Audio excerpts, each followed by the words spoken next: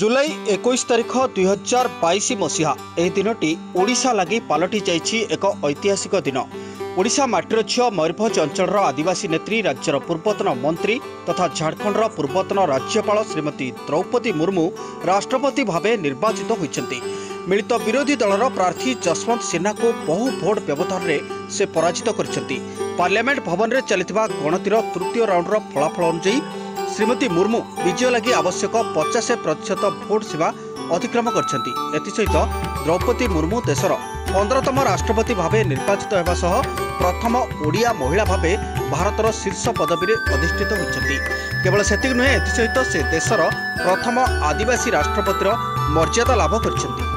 ଶ୍ରୀମତୀ ମୁର୍ମୁଙ୍କ ପୂର୍ବରୁ ଦେଶର ଚତୁର୍ଥ ରାଷ୍ଟ୍ରପତି ଭାବେ ଉଣେଇଶହ ଅଣସ୍ତରୀ ମସିହାରେ ଭିଭି ଗିରି ନିର୍ବାଚିତ ହୋଇଥିଲେ। ସେ ତେଲୁଗୁ ଭାଷୀ ହୋଇଥିଲେ। ହେଁ ସେ ଓଡ଼ିଶାର ବ୍ରହ୍ମପୁରରେ ଜନ୍ମଗ୍ରହଣ କରିଥିଲେ ଏବଂ ଖଲିକୋଟରେ ପାଠ ପଢ଼ିଥିଲେ। ତୃଣମୂଳ ସ୍ତରରୁ ରାଜନୈତିକ ଜୀବନ ଆରମ୍ଭ କରିଥିବା ଦ୍ରୌପଦୀ ମୁର୍ମୁ ବ୍ୟକ୍ତିଗତ ଜୀବନରେ ଅତ୍ୟନ୍ତ ଅମାୟିକ ମେଳାପି ଓ ସ୍ପଷ୍ଟବାଦୀ। ଓଡ଼ିଶାର ମୟୂରଭଞ୍ଜ ଜିଲ୍ଲା ବାମନଘାଟି ଉପଖଣ୍ଡ କୁସୁମୀ ବ୍ଲକ ଉପରଭଡ଼ା ଗ୍ରାମର ବିରଞ୍ଚି ନାରାୟଣ ମୁର୍ମୁ ଓ ମା ସିନୋଗା ମୁର୍ମୁଙ୍କ ଔରସରୁ କୋଡ଼ିଏ ଜୁନ୍ ଉଣେଇଶହ ଅଠାବନ ମସିହାରେ ଜନ୍ମଗ୍ରହଣ କରିଥିଲେ ଦ୍ରୌପଦୀ ମୁର୍ମୁ।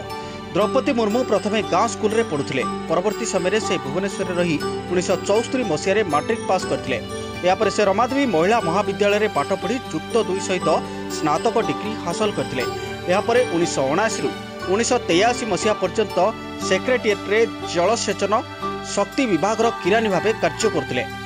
ତେବେ ସ୍ୱାମୀ ବ୍ୟାଙ୍କରେ ଚାକିରି କରୁଥିବାରୁ ସେ ରାୟରଙ୍ଗପୁରକୁ ଫେରି ଆସିଥିଲେ ଏବଂ ରାୟରଙ୍ଗପୁର ସ୍ଥିତ ଅରବିନ୍ଦ ପୂର୍ଣ୍ଣାଙ୍ଗ ଶିକ୍ଷା କେନ୍ଦ୍ରରେ ଶିକ୍ଷୟିତ୍ରୀ ଭାବେ ଉଣେଇଶହ ଚଉରାନବେରୁ ଉଣେଇଶହ ସତାନବେ ପର୍ଯ୍ୟନ୍ତ ଶିକ୍ଷାଦାନ କରିଥିଲେ। ପରେ ଶିକ୍ଷକତା ଛାଡ଼ି ବିଜେପି ଆଦର୍ଶରେ ଅନୁପ୍ରାଣିତ ହୋଇ ରାଜନୀତିରେ ପାଦ ଥୋକିଥିଲେ। ଉଣେଇଶହ ସତାନବେ ମସିହା ରାୟରଙ୍ଗପୁର ଏନ୍ଏସିରୁ ଦୁଇ ନମ୍ବର ୱାର୍ଡରୁ ନିର୍ବାଚନ ଲଢ଼ି ବିଜୟୀ ହୋଇ କାଉନ୍ସିଲର ହୋଇ ଉପାଧ୍ୟକ୍ଷ ମଧ୍ୟ ହୋଇଥିଲେ। ପୁଣି ଦୁଇ ହଜାର ମସିହାରେ ବିଜେପି ପକ୍ଷରୁ ବିଧାନସଭା ଆସନରୁ ନିର୍ବାଚିତ ଲଢ଼ି ବିଜୟୀ ହେବା ସହିତ ବିଜେପି ବିଜେଡି ମେଣ୍ଟ ସରକାର ମନ୍ତ୍ରିମଣ୍ଡଳରେ ରାଷ୍ଟ୍ରମନ୍ତ୍ରୀ ହେଲେ। ବାଣିଜ୍ୟ ପରିବହନ ମତ୍ସ୍ୟ ଏବଂ ପଶୁ ସମ୍ପଦ ବିଭାଗର ଦାୟିତ୍ୱରେ ରହିଥିଲେ। ସେପରି ଦୁଇ ହଜାର ଚାରି ନିର୍ବାଚନରେ ମଧ୍ୟ ବହୁ ଭୋଟ୍ରେ ରାଇରଙ୍ଗପୁର ନିର୍ବାଚନ ମଣ୍ଡଳୀରୁ ସେ ବିଜୟୀ ହୋଇଥିଲେ।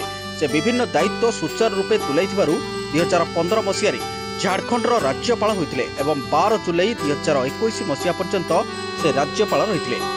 ଜୁନ୍ ଏକୋଇଶ ତାରିଖରେ ବିଜେପି ରାଷ୍ଟ୍ରୀୟ ସଭାପତି ଜେପି ନଡ୍ଡା ଶ୍ରୀମତୀ ମୁର୍ମୁଙ୍କୁ ଏନ୍ଡିଏର ରାଷ୍ଟ୍ରପତି ପ୍ରାର୍ଥୀ ଘୋଷଣା କରିଥିଲେ।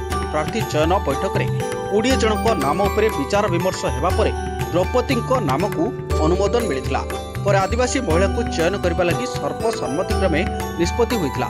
ଦ୍ରୌପଦୀ ହେଉଛନ୍ତି ଦେଶର ପ୍ରଥମ ଓଡ଼ିଆ ଏବଂ ଆଦିବାସୀ ମହିଳା ଏବଂ ଦ୍ୱିତୀୟ ମହିଳା ରାଷ୍ଟ୍ରପତି। ମୁର୍ମୁଙ୍କ ପୂର୍ବରୁ ପ୍ରତିଭା ପାଟିଲ ଦେଶର ପ୍ରଥମ ମହିଳା ରାଷ୍ଟ୍ରପତି ହୋଇଥିଲେ।